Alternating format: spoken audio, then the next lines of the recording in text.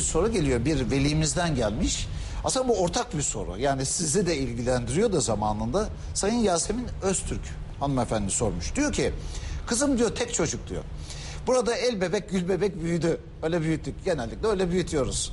Şimdi oraya tek başına gönderdiğimde yapabilir mi diyor.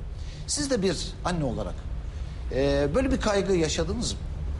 Gitmeden önce öyle bir kaygım oldu gerçekten ama e, yine de gitmiş olan arkadaşlarımdan dinlediğim bir takım tecrübeleri e, kendime kılavuz edindim. E, dolayısıyla gitmesine karar verdim. İyi bir eğitim almasını istiyordum. İyi bir basket e, oyuncusu olmasını istiyordum. Ve inanın beklentilerimin çok üstünde e, şeylerle karşılaştım ve çok Ne mutluyum. İSEVORT bize gerçekten e, çok güzel bir kılavuz oldu.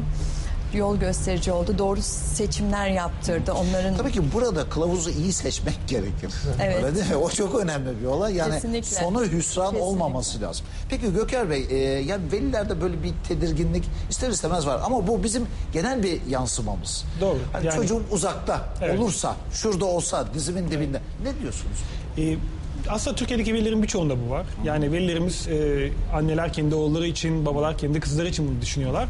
Ve kafalarında şu soru var. Ben çocuğumun geleceği için en doğru adımları nasıl atabilirim?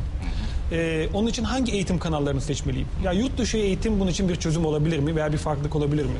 Bütün veliler bu şekilde bize geliyorlar ve biz onlara e, hem öğrencimizin hem velimizin bahsettiği gibi belli metotlarla belli bir kılavuzluk yaparak belli bir noktaya ulaşmalarını sağlıyoruz.